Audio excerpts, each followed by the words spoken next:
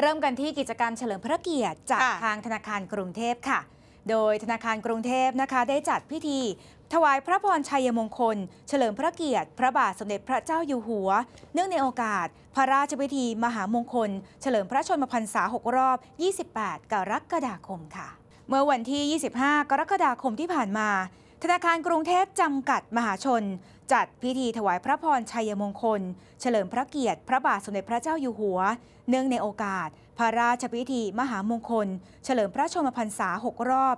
28 กรกฎาคมค่ะ โดยมีนายพรเทพพรประภา ประธานกรรมการธนาคาร นายเดชาตุลานันรองประธานกรรมการธนาคาร และประธานกรรมการบริหาร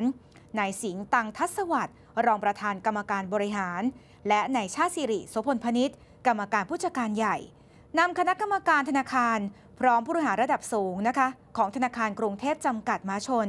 ร่วมพิธีถวายพระพรชัยมงคล เฉลิมพระเกียรติ พระบาทสมเด็จพระเจ้าอยู่หัว โดยนายชาติสิริโสพลพนิษฐ์กรรมการผู้จัดการใหญ่ เป็นผู้แทน ถวายความเคารพ และกล่าวถวาย ราชสดุดีเฉลิมพระเกียรติ ถวายพระพรชัยมงคล ต่อหน้าพระบรมฉายาลักษณ์พระบาทสมเด็จพระเจ้าอยู่หัว ณ ลานด้านหน้าอาคารสำนักงานใหญ่ ธนาคารกรุงเทพ ถนนสีลมค่ะ เนื่องในโอกาสพระราชพิธีมหามงคล เฉลิมพระชนมพรรษา6รอบ ที่กำลังจะมาถึงในวันที่ 18 กรกฎาคม 2567 นี้ ด้วยความสำนึกในพระมหากรุณาธิคุณเป็นล้นพ้น จึงพร้อมกันร่วมใจถวายพระพรชัยมงคล เป็นราชสดุดีเฉลิมพระเกียรติ เพื่อร่วมแสดงออกถึงความจงรักภักดี และน้อมสำนึกในพระมหากรุณาธิคุณอันหาที่สุดมิได้ ที่ทรงมีต่อพระสกนิกรปวงชนชาวไทยค่ะ